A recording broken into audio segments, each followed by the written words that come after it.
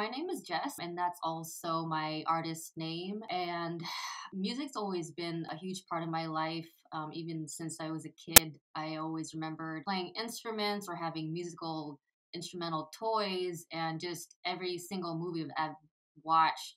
I feel like looking back now, I've been able to realize, oh, my appreciation for that movie was because I was just drawn to the the movie soundtrack and it brought a lot to the story as well so it's been yeah it's always been a presence in my life and it took me a long time to actually start pursuing music not until i guess i went to well when i went to college back in 2007 i always took classes on the side music that are music classes but it's always been main focus on degrees or careers that are more focused towards financial security or stability and just far not attached to music at all. So, not until 2021 did I finally just submit and realize like this passion is not going anywhere and it's always eating at me that I'm not actually putting more effort into something that I really love. So, I decided to go to school for it.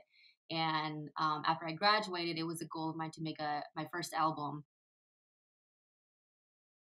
I figured like, well, it's always been a struggle for me. Like, no matter what I pursued, I always it was always in the back of my head, well, I'm only doing this because then I could somehow find my way to pursuing music. It was just like a a weird, weird, huge detour, and I was like, this is not making any sense. Like I'm just I'm still everything I do is just so I could get to music instead of just actually directly pursuing it and um, at the same time it's just like eating away at i felt like it was just eating away at my soul because i'm just not happy uh, what i've what I've been doing and like um, even though I might be earning more money, life is not actually happy or I feel super stressed and um yeah, I just all of that I felt like it made me realize, well, I mean, I could continue to pursue these um, career oriented kind of uh, paths but inside i'm just not happy and it, just reflected every every in every aspect of my life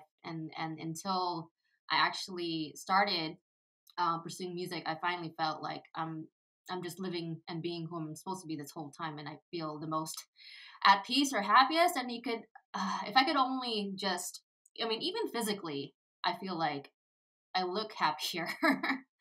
um, so it's it reflects, I think, and um, it's just confirmation that yeah, I'm I'm where I'm supposed to be, and just keep on keep on at it and um, hopefully that message can resonate and like that's a thing that i i wish like people can um when they listen to that song that they could feel that and that's that hits a certain chord in their in their in their heart when they listen to it.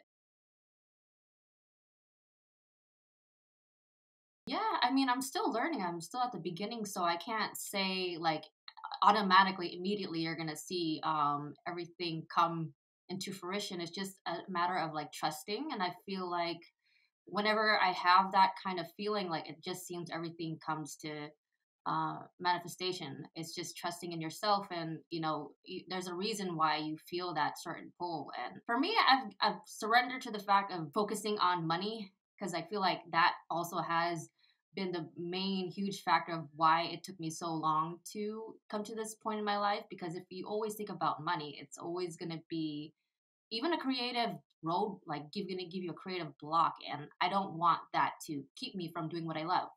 So i mean i hope to eventually make this a full-time kind of thing that will make lifestyle uh, for me to be able to sustain um, myself and not worry about it but i'm not you know that's something that i have to keep in mind like i'm doing this because this is what i want to do and that's that's that i need to release it. I'm not gonna let any any any of these distractions keep me from doing what my soul is telling me to do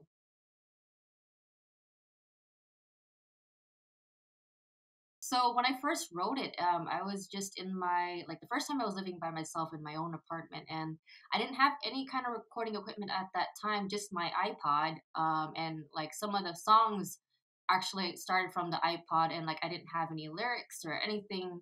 But with that song, um, and I think that's why it's so unique compared to the rest. I always felt like, um, like for me, I'm not really.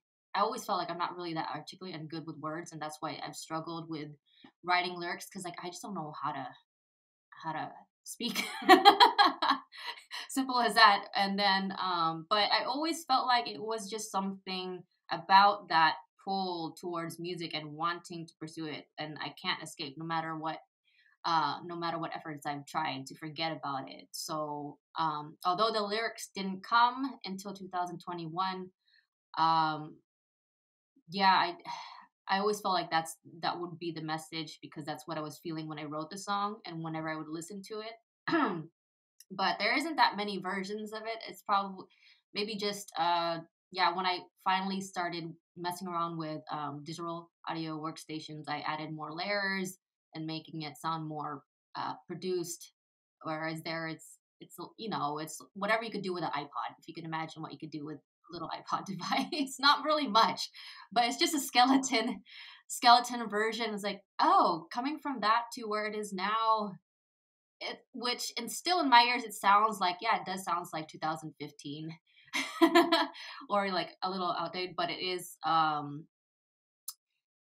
yeah, uh I don't know. It, it it amazes me of what you could do with the technology that's available for musicians now, and I feel like that's why that opened up um, for people to get more uh, comfortable of making their music because they have access to things like like uh, Logic, which I use.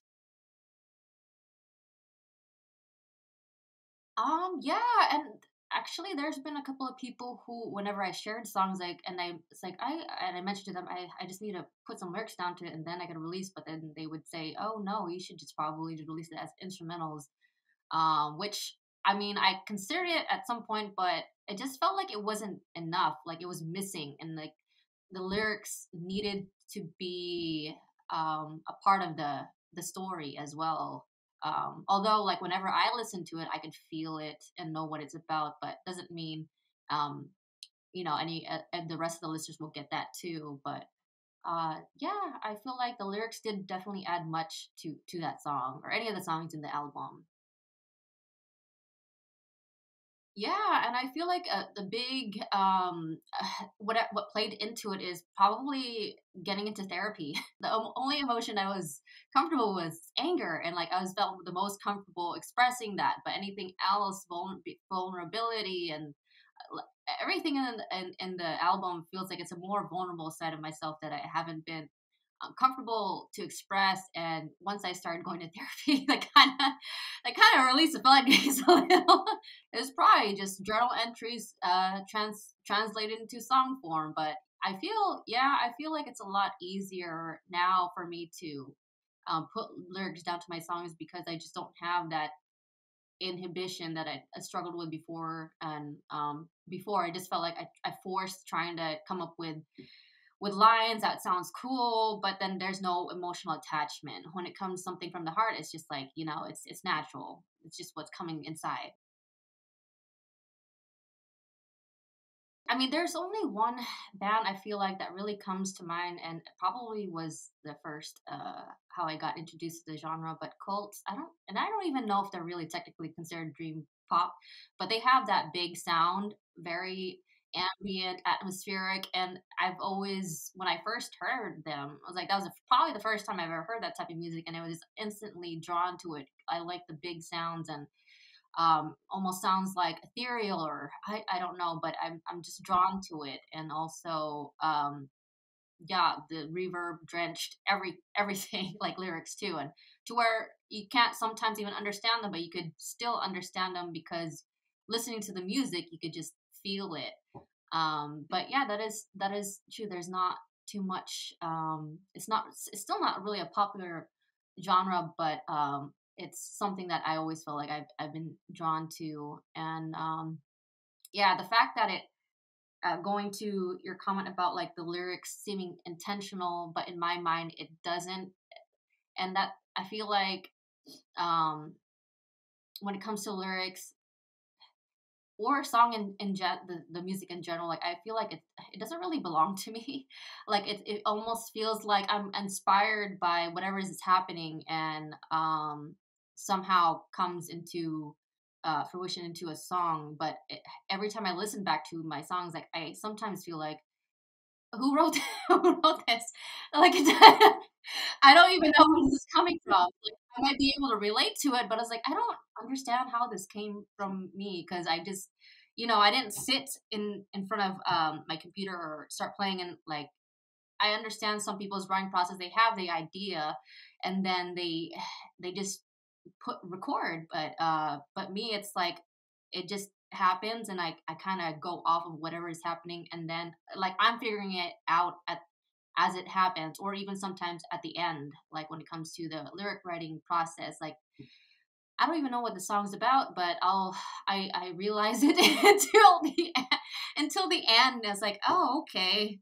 Um, so that's why I feel like it's it's definitely not intentional because um, I come to the end of it and then like and then I realize the meaning of it, which yeah, that's why I feel like it doesn't really belong to me. It's very spiritual.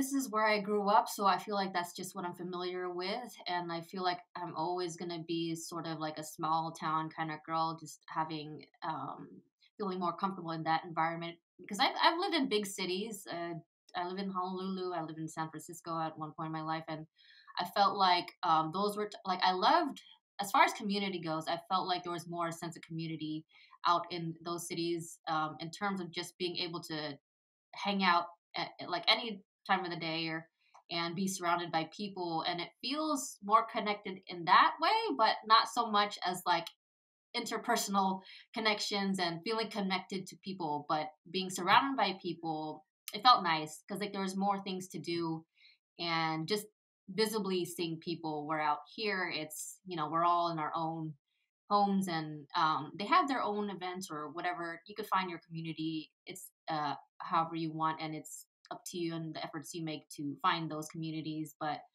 um, that is one thing I would say the difference about living in different parts of uh, California or the US compared to here. Um, but it's very, I would say, more family oriented, which I, I feel like that's been something that kind of um, been reintroduced into my life or me uh, forced me to kind of get into that because I've been kind ever since going to college it's just been more uh, more independent and kind of like focused on just just me but so um but it's yeah it's always been kind of a struggle finding my community and I feel like this is just a temporary pit stop to the next destination and hopefully you know my my goal is to actually i'm not playing live shows yet but that is my goal and i know that's realistically not gonna happen in out here in bakersfield although like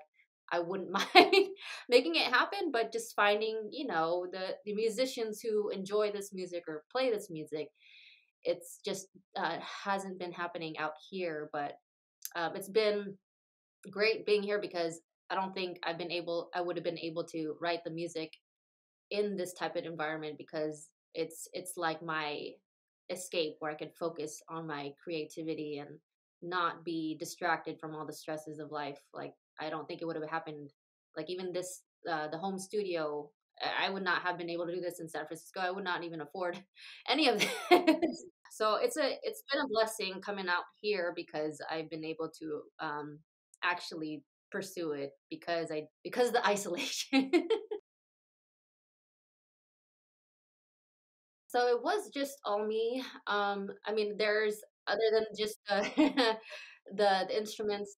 I mean, that I did play with the synths and and the guitar, like the drums. I would just use drum tracks or samples because I don't play the drums um, well enough to be able to record. Um, but uh yeah that it was just just me and recorded it all in, into uh, my DAW and I used Logic and um uh, yeah it just happened I don't know I feel like um it took that long also because I wasn't able to accumulate all the stuff I have now to make up this uh, music studio so all the equipment was also a factor of why it took so long um but uh, in the upcoming stuff I've been working on, I've been working with more other artists and collaborating, which I've I've always wanted to do. Um, and I feel like, yeah, creatively that opens a whole lot of freedom or, or more more ideas and it's not just constricted to just my uh, my style so i like i like that um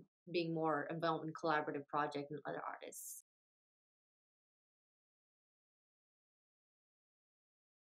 I don't, yeah, freeing feeling of just being able to, yeah, like I said, just like let yourself go in these creative expressions. And I feel like me, the fact that I just did this by myself was uh, a product of the frustrations of trying to work with other people, but it just yeah, not panning out or like the commitments weren't there and it's just like, oh, you know what? I'm not gonna let this stop me. I'm gonna do it anyway, anyway, and I'll find out a way to do it.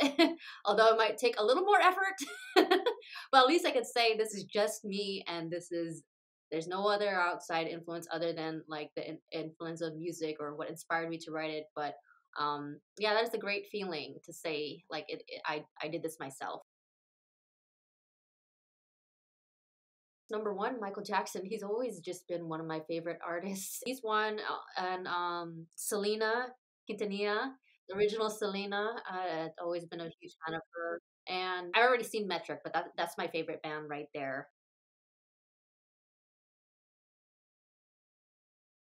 So I'll be coming out April 21st, um, but the newest single that's coming out from that album which is the last track, um, Hell is on the Way Dear, is going to come out March 24th.